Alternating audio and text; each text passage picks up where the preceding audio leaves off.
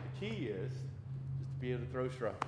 Brent Leach of Brandon will tell you baseball is in his blood. On the bump for Brandon High School two decades ago, this lefty relief pitcher would go on to play for Delta State, and before that, USM. Here he is striking out the opponent for the Golden Eagles. Then, after some time with minor league teams, it happened. In the sixth round, Tommy Lasorda called my name, and I was just sitting there at the computer like, holy cow, I got drafted by the Los Angeles Dodgers. May 6, 2009 was my debut. Leach would play in 40 games for the Dodgers. I always joke that baseball doesn't love you back as much as you love it, but you can't play that game forever, and we all know that one day it's going to come to an end, so you might as well just enjoy each and every day you get to go in and put on the jersey. He played for a few more teams in the U.S. and Japan, then in 2016 came home.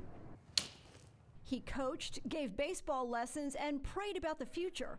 Then, just a few months ago, another calling, this time from First Baptist Church of Brandon, his home church.